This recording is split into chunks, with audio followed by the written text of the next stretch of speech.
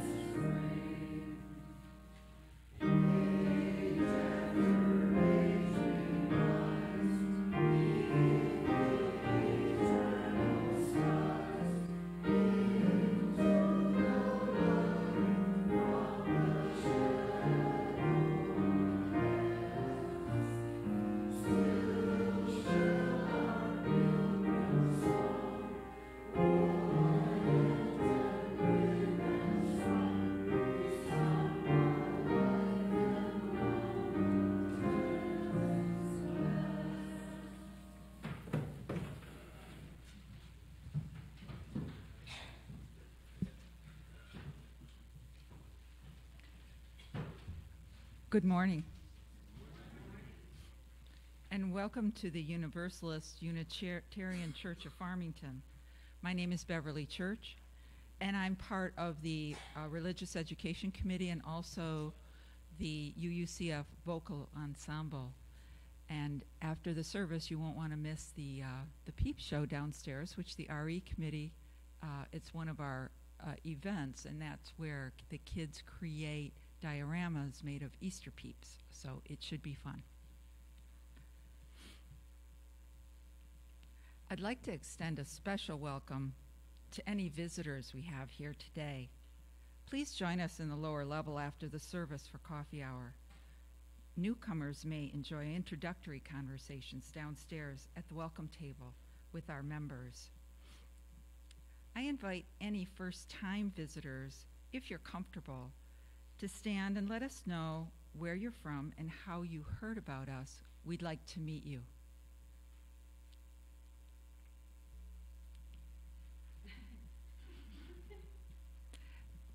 During the service, we have supervised nursery for babies and toddlers and religious education classes for children and youth.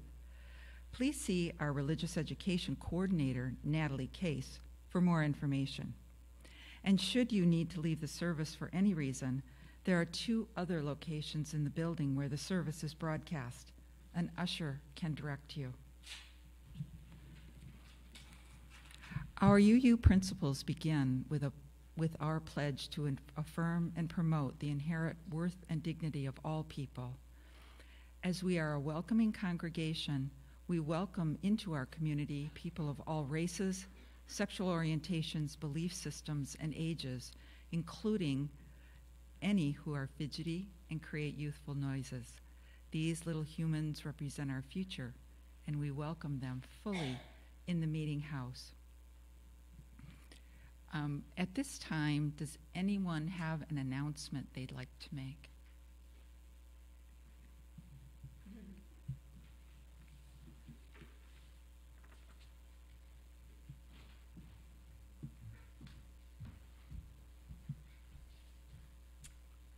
Morning.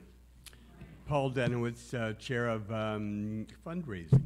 And just to give you an update on to our, uh, our pledge drive, uh, we're now at about $153,000. Um, well on our way to the goal. We have two more weeks. Um, if you haven't gotten your pledge in yet, please do so. Uh, I had an interesting conversation with somebody that said, well, you know, I don't think I'm going to pledge, but, you know, I drop money in the plate. And understand that the reason for the pledge is to allow us to budget for next year. Uh, the money in the plate is a, is a great thing, but it's certainly not something that we can count on or not something that we can put into the budget. Um, so please get your pledge in. Uh, we will end the pledge drive on the 28th of this month, and then we will put together a budget and uh, we will uh, see how we come out. But uh, certainly we appreciate all of your thoughts and gifts and uh, time and treasure. So thank you.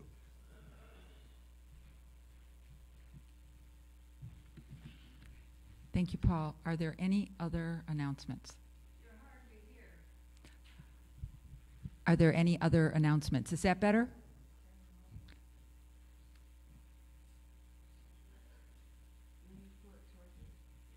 What's that?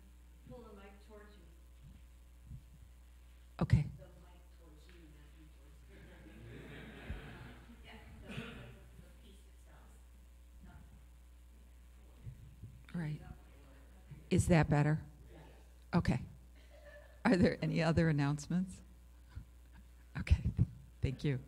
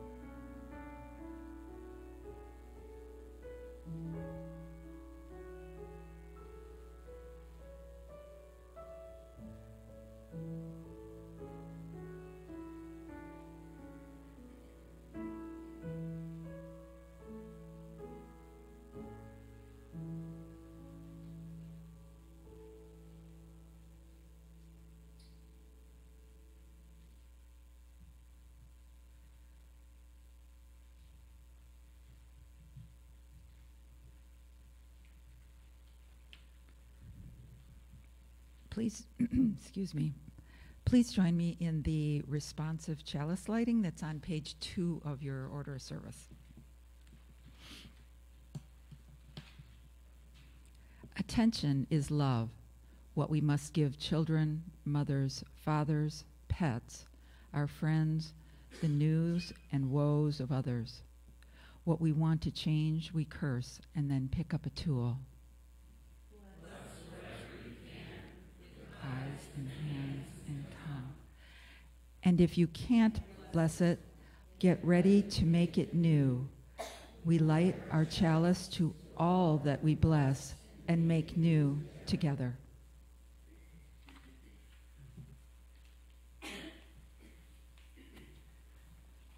Megan?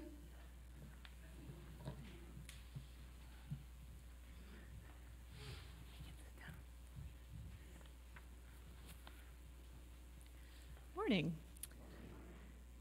So um, I'm going to start my meaning of membership discussion with um, a bit of a confession, even though I know we don't really do that kind of thing here. Um, and it's that I came here first for the free child care. so, I mean, I so I um, I came here. I think the first time in maybe January of 2014, uh, and I had been living in Michigan for less than six months, uh, and I had a very small person. I, Will was about two at the time, and I didn't really know anybody. And it was January, and nobody could leave the house. Um, and I, I didn't have any family in the area, and I just thought, I, you know, I, I, I saw, you know, UU Church, childcare, and I'd been to UU churches before, and I was positive about them, but it was the childcare that really put me over the edge and said, "Boy, wouldn't it be nice for one hour?" like, here you go. I'm gonna go sit and listen to something that adults have to say. So I did. Um, uh, and you were um, very friendly and welcoming and helpful, and you provided that for me, and I kept coming back. Uh, and I joined about a year later, um, and I, um, I, the the best part of joining, I've I've really felt like the the fullest experience of joining was not the day that I signed the book, which was um, a good day, uh, but but when I started to actually get involved in things, so I served on a search committee, uh, I became part of the coach committee. I got involved, and suddenly um, the uh, friendly people who it was hard to have a conversation with when I was chasing around after this small person, uh, it was much easier to have a conversation with when we were working on something together. So um, if you are relatively new uh, to this congregation, I highly recommend um, getting involved, picking an area that uh, is something that you are interested in and um, picking up with that and and giving it a try because the um, that IKEA effect where you like something more when you've worked on it is true of church as well. Um, so yeah, that was maybe uh, three years ago now, um, and I've been coming back, and I'm happy to see you all on Sundays. Um, and I keep coming back to the fact that you know I'm grateful to you for knowing what I needed on that day in January uh, when I first walked through the door, and silently and you know quietly and and, and helpfully giving that. Uh, and I hope that I can do the same for you. Thanks. Thanks, Megan. So the membership committee is um, the committee that organizes um, a lot of different things, including having these um, meaning of membership moments um, once a month.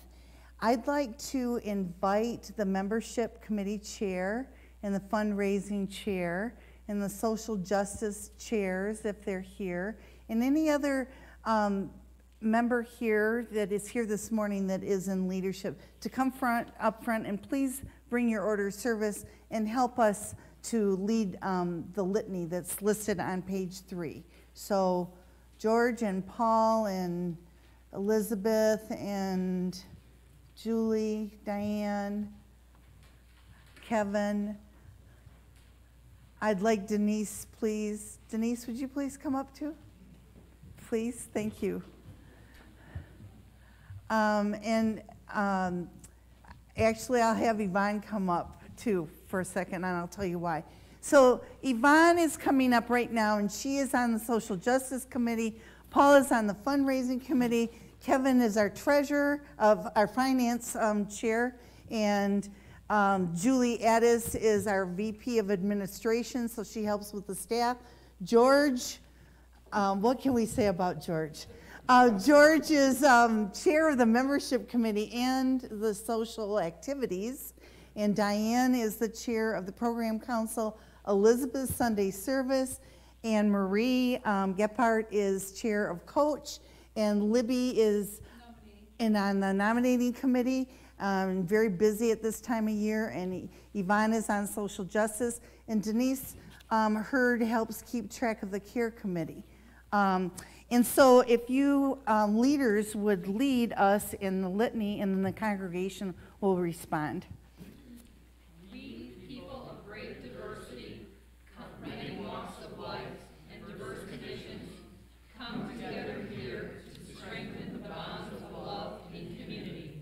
Like people of every age, we celebrate the grandeur of creation.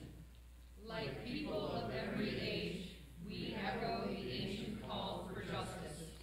We are from various backgrounds and of diverse beliefs. Each of us is unique. We stand at the same time apart and alone with differing feelings and insights.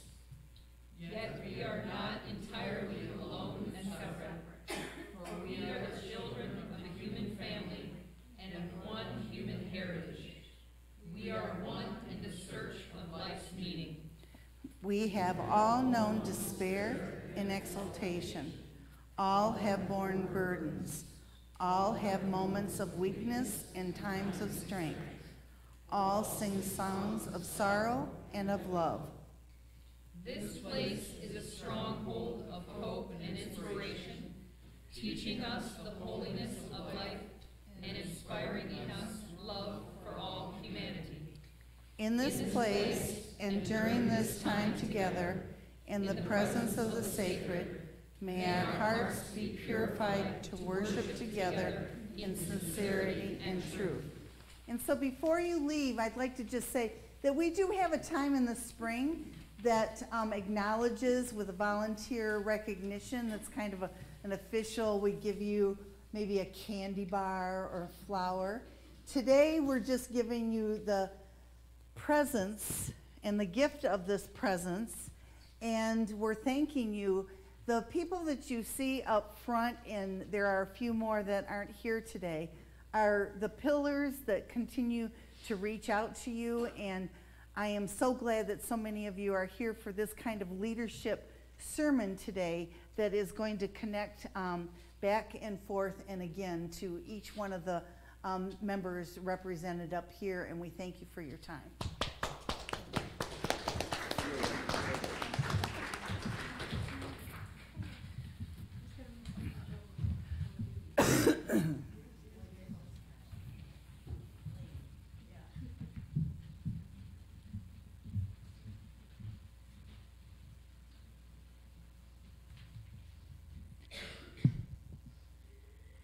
Please join me in reading our unison words of offering as we acknowledge our generosity and intention to continue support and build this welcoming community. We give generously to support this church where love, justice, and equality inspire our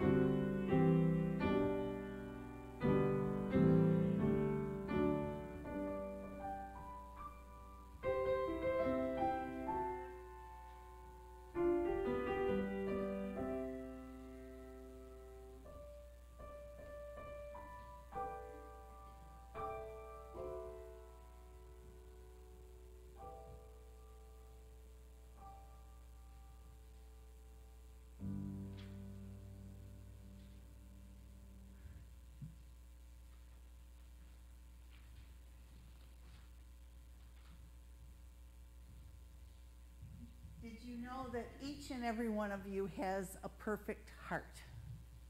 You have known joys and burdens, sorrows, challenges, wonderful celebrations. Each of you has come through yet another week of this beautiful Michigan weather that gives us four seasons in one week. You are strong and you are resilient. I invite you to come up front if you would like and introduce yourself by first name and share a joy or a sorrow of significance that you would like us to draw our attention to.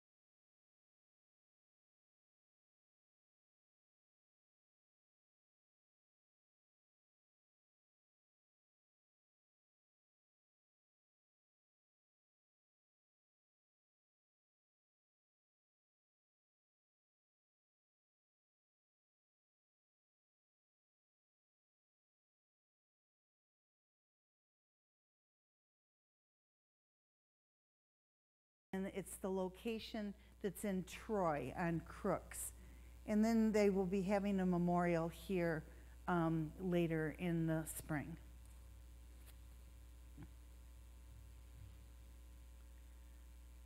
I'd like to light this candle for all the joys and the concerns that each of us think about and carry within our hearts and our spirits during the week.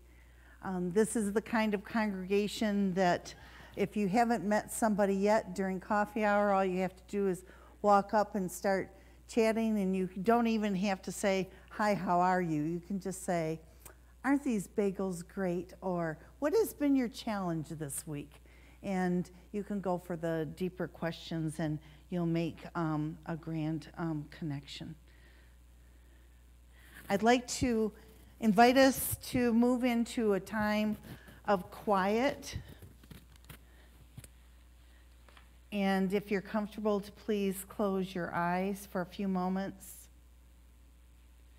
We share these moments of silence and we focus on diversity because in our circles, some of our friends today will acknowledge this day as Palm Sunday.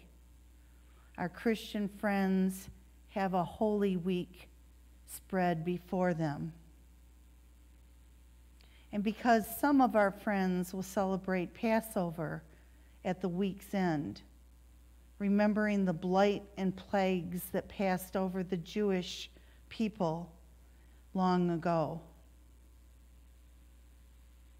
And because some of our friends acknowledge the mythology of spring and know that Persephone will return to Demeter and bring the flowers and the flourishing colors of springtime back with her. Because we are Unitarian Universalist, we acknowledge and respect the beliefs of our friends and our neighbors as they put their faith into practical use, being better people, as we do our best to as well. In our silence, may we give ourselves a gift of peace and quiet and harmony for a few moments.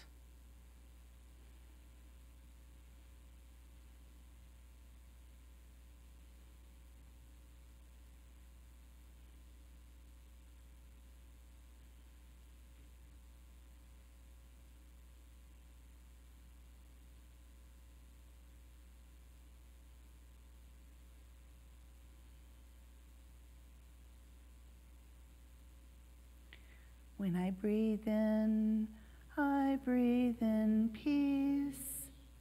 When I breathe out, I breathe out love. When I breathe in, I breathe in peace. When I breathe out, I breathe out love.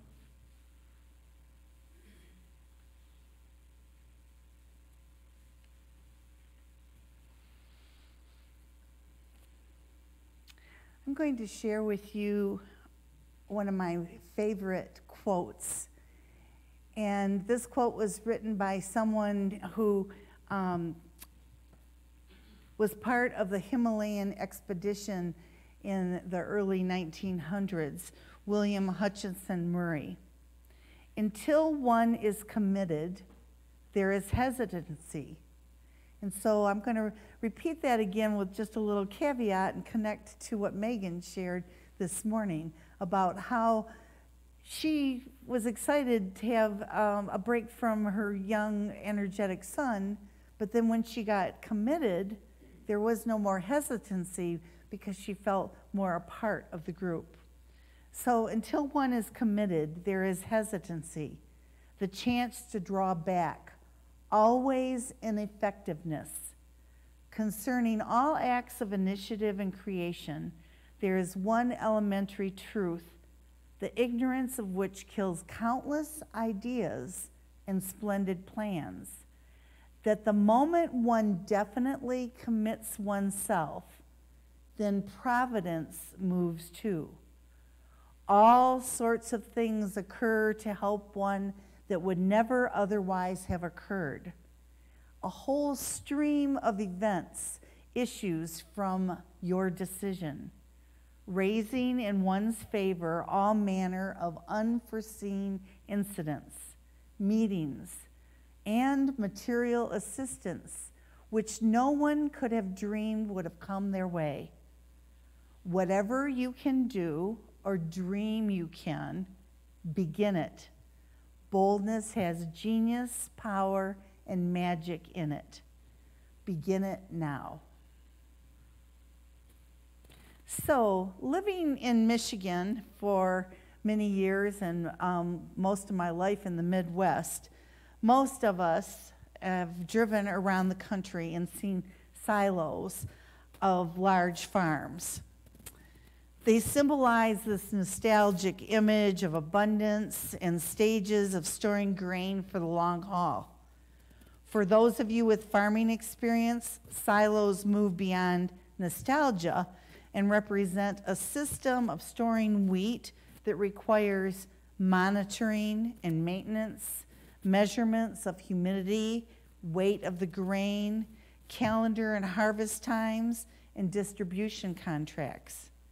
In other words, we can see a silo and romanticize the down to earth life of a farmer, or we can deal with the complexity of what those huge pillars really represent.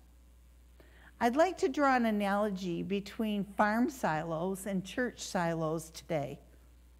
Patrick Lencioni brought the concept of silos into the leadership conversation with his book called Silos, Politics, and Turf Wars.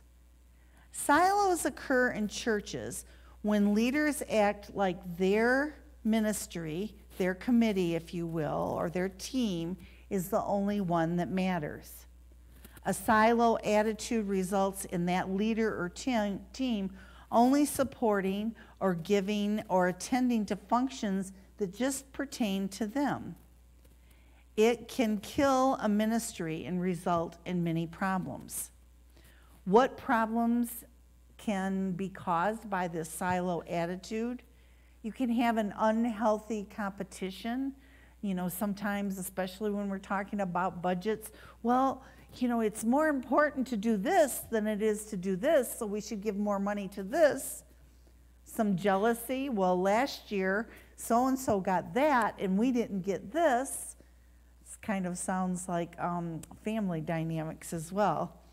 Hurt feelings, pride, a lack of trust, fighting over the limited resources, and sometimes foot dragging. And so, foot dragging is an interesting concept when you think about it as applied to churches. You know, we have um, visions and goals and missions that we state. And so we state these, and then if we don't touch on them during the year and see where our progress is, or if those goals were too lofty or we really didn't mean that we wanted to grow, you know what a congregation can do? they can create a crisis. They can create a crisis and stir things up over maybe the heat going out, or maybe the kinds of hymns that are being sung, or maybe why Reverend Leonetta always changes the litany. All of those things can be little sparks that can turn into big things. I remember when I caused one the first year that I was here. Remember when I talked about maybe changing the format of joys and concerns. so these kind of procedures, if you will, are not overt, they're under the surface. And they can change the dynamics of a congregation from being harmonious to being in conflict. Unitarian Universalists are known to be independent thinkers and believers. Our historical New England connections provide a firm belief of non reliance on others. In fact, many have a non reliance on even a higher power, right? We take pride in doing things efficiently and having a unique approach to systems of governance that began with congregational polity, which is the basis of how we relate to one another. If the leadership regularly thinks how their committees work or interest groups impact the entire church, silo thinking can be avoided. So, this is one of the great moves that all of you made uh, more than eight years ago when you went to having a program council. So the program council's intention is to meet and to share ideas early in their inception so that people can um, chime in with ideas that they might have or refinements. And so um, I'm going to uh, share with you uh, the, the example that was really big last year. A year ago, we were just on the verge of planning to have the parking lot done. So, oh, well, you know, just let's close down the church for a couple months and we'll have the parking lot redone. Okay, how does the administrator get in? How, um, where do we go and meet? Um, what is the impact going to be on those people that um, get confused with directions if we meet in another place? Uh, how long is it going to take? That is all a whole story, not even mentioning the budget of, of the plan, moving the playground up to the uh, top of the hill so that we could have the proper drainage. This wasn't just about a playground, uh, a parking lot. It was about a parking lot, Sunday services, services during the week, our rental property, et cetera, et cetera, et cetera. And so that project had all the threads going through it and connecting to all the committees. Every committee was impacted by the parking lot project. You would be surprised that most every project that you think of is impacted by every other committee. And so if you want to minimize the silos, then the communication and the cross pollination of information is very important. So to change that, um, of course, the main topic or the main sermon that we need to remember in our lives is moving from the I to the we. When you listen to the joys and concerns this morning, there's not a joy or concern that just stayed in the I. Bud didn't fix his furnace alone. Mark isn't getting through the weekend or um, the challenges alone. Megan came up and shared that she didn't want to be alone. All of us need to move from the I to the we. All the good ideas that you've had since 1987, they have been very good ideas, and some of them worked and some of them didn't. And there is somebody brand new in this congregation that's going to give you a different slant or a different perspective on things. What we want to avoid is something that my Italian grandma was very good at. God rest her soul. She had seven children. And the way that she got the attention of the seven children is every time one came to visit, she would stir up a story about some of the other ones. And she would say, Well, you know, Josie, she brought me a nightgown last week, and you haven't brought anything. Do you want to see the new nightgown? And she literally had a drawer filled with brand new nightgowns that she wouldn't open because they were too nice to wear. But she would stir this up about nightgowns and foods and etc. I didn't realize that she was um, kind of mimicking an Iago factor from Shakespeare in Othello, with Othello. Othello and his young Venetian wife were in love. Othello and Desdemona were deeply in love. Othello being a simple hearted soldier who trusts those around him, and Desdemona loving to listen to his every word. However, Iago, friend of Othello, plays the characters against one another and creates an atmosphere of distrust and separation. He is constantly in his whisper, whispering in Othello's ear, and eventually incites him into violent jealousy, and the story ends in senseless tragedy. That story isn't about my grandmother. That story is, yes, a Shakespeare story, but all of you have so much power. I remember telling this um, to my grandchildren when they were five and nine. We have so much power right here. What we say when we get together for our auctions and events, what we say at the women's and men's luncheons, what we say when we have committee work, what we say, "Oh, don't tell anybody this, but this is what I heard. What we say has a lot of power. And so there's something on the bulletin board downstairs that some of you might have noticed, and it's that think, and I'm not going to be able to remember all of them, so you're going to have to go and have a bagel and look at the bulletin board. But before you speak, is it thoughtful? Is it helpful? Is it inspiring? Is it necessary? And is it kind? So that is the kind of breakdown that we have here in our congregation as far as what we can do to break down the silos. So to change that culture is obviously adaptable for all of you. It is amazing to me with this congregation how you have been working to break down silos. A couple of weeks ago, I called the Social Justice Committee and asked them um, if we could do a special collection that I had heard about um, from the Farmington community for CARES. You all contributed $500 to help put different food and different um, resources on the shelves for the needy people in Farmington. You've done the backpacks. I invited Denise um, Hurd up because we visit and we send cards to homebound people or people that are going through some challenges or transitions.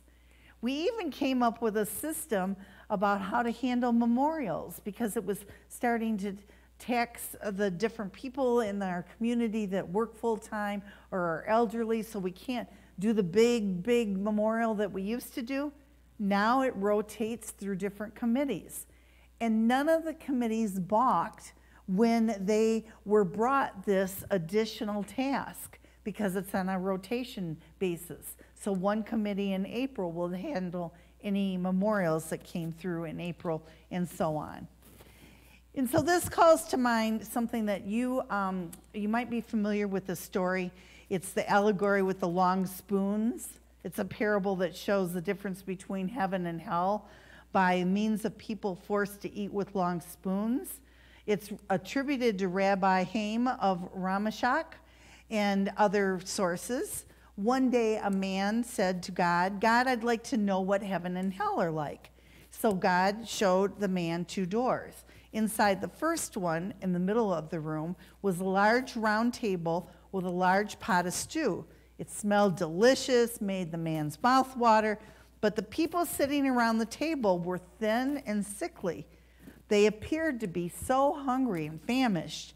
They were holding spoons with very long handles, and they found it impossible to get that pot of stew into their own mouths. The man shuddered at the sight of this misery and suffering. God said, You have seen hell. But behind the second door, the room was exactly the same with the large pot of stew and the long handled spoons. The people had the same challenge, but what were they doing? They were reaching across and feeding one another. And so, this is what a church community that's not filled with silos looks like. You not only feed each other with a potluck or with resources uh, that you give during a pledge drive, but you feed each other with information that applies to all of us so that when a particular mulch party is created to get mulch up to the playground isn't the same day that we do a, um, a cleanup party. Oh, here I am. Did you, did you miss me? It was down here. It's good. I wasn't a cheerleader, but I still have that voice. So when we look at silos, how can we work foundationally to be clear on how to avoid them? Make sure that we have a shared, clear vision. This is something that we've worked on. We have a wonderful mission statement seek answers everywhere, include everyone. So, did you all know that your mission statement is on the front of the order of service every week? So, if that's the beginning of your elevator speech, right? So, if you have some well-meaning person at your work, or um, that you're uh, just a stranger, or somebody in your family, or next week for Easter, and they say, "Well, what is that Unitarian Universalist Church all about?" Everybody seek answers everywhere, include everyone, and live with compassion. We made it so short so that you can memorize it, or you can have it as a very um, slight tattoo on your forearm. that might be a fundraiser for next year. So we have a clear vision. We build trust in all of our leaders. I will tell you the people that stood up here this morning, I have amazing trust with them. If you bring an idea to them, they say, Well, how can we do it? And instead of let's not do it. So, building trust with your leaders and knowing that they are here and they are as committed to this congregation as I am and as you are. You encourage your leaders to talk to one another. So, don't be shy sometimes people feel that if you're going to give um, some input, that it's criticism. So let's say I'm going to pick on Joan for a minute. Um, Joan is planning a birthday party, and she's thought of everything because she's planned parties for years. She's thought of everything. But I said, Joan, did you did you know a lot of people are are gluten sensitive now, and so we need gluten free cupcakes? And she's like, Oh, you're right. That doesn't mean that Joan doesn't know how to plan parties. That just means that we're putting one more piece of information into the pot to make it successful for everyone. Remind leaders that it's not about them. They were kind of shy and humble up here this morning, so I think they have that. Teach leaders to step inside of others' shoes. So, this is the interesting um, activity that we could possibly do is that you have a field trip where certain committees go and attend another committee's meeting. And so then you hear all the details that Sunday services and membership and building and grounds have to handle.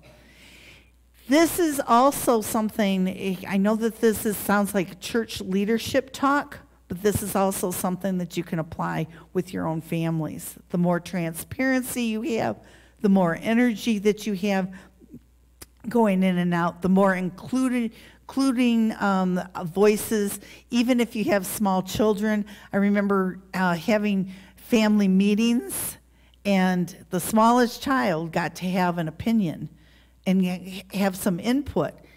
I was a single mom at the time, even on how we spent our social on on our tax refund. Um, so we came up with some interesting talks about, well, we could spend $250 at Taco Bell and then we could finally get a drink because I would never let them get a drink. So those are all the ways that you can minimalize silo thinking by including all the voices. So these are some questions that I would like to close with that we could ask our committees and one another.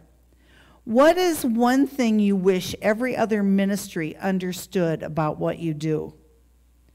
What are some of the things that we do that create stress for you and your team? I think I'm going to bring these up to the program council. What is one thing you are really excited about right now? And if there isn't something that you're excited right about right now, we have to think of something. We have to throw something out into the next six weeks and decide what that is. But I will tell you, next week's Easter, and there's going to be a surprise. And the week after that, there's going to be Maypole. So those are for just the next two weeks. What could we do on a committee to make the other committee's life easier? These field trips can build relationships and trust.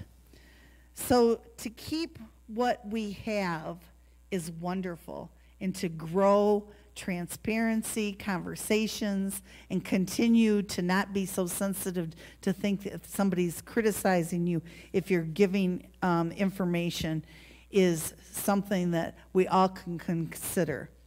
And so, hopefully, after this sermon, you'll have to hear at committee meetings much less from Reverend Leonetta saying, Well, we don't want to be a silo church, right? And you'll know why. Jeff Saris says, That which is arises, allow to arise. The anger is to find it to be interesting.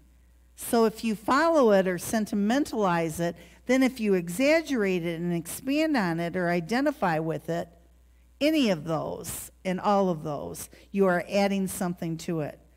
The longer and more fully we can meet and experience, the more dynamism begins to take over. The unfolding is organic. So we're going to close with doing something organic. Each of you was given a pipe cleaner. So this is going to be a multitask thing. First, I'd like you to turn to page six and take your order service and fold it because we're going to, rather than having silos, we're going to create a weaving. And so some of the leaders that are around you are going to reach out to you or you can just reach out to somebody else. And I want you to weave together in a creative way or just a simple, secure way your pipe cleaner with somebody else to represent the way that you're going to weave information and energy and resources through the congregation. And at the same time, pat your head, rub your belly.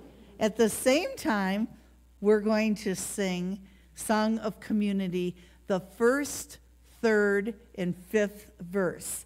First, third, and fifth, all odd numbers. So you're clear, make your weaving and sing because the weaving's not going to take that long. So stand as you are willing and able, weave away and sing away.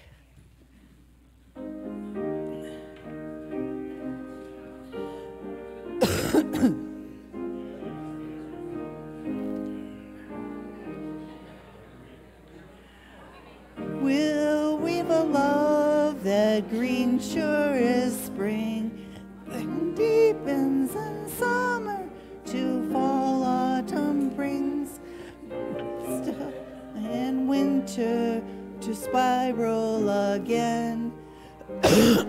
My friends will weave on.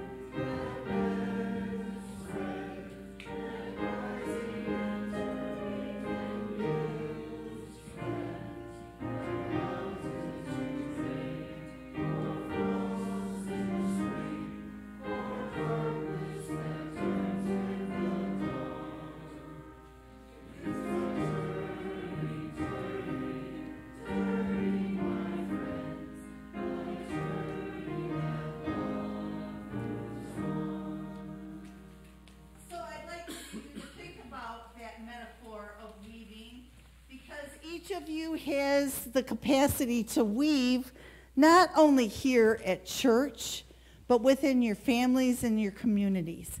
Be the Unitarian Universalist that you know that you can be. Affirm and promote each other with joy and understanding. Be curious about one another. And know that you can live with compassion and still ask lots of questions and create a weaving as well as singing at the same time. Have a great week.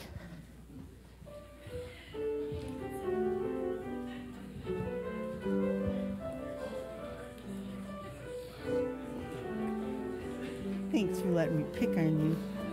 We'll have gluten free cupcakes.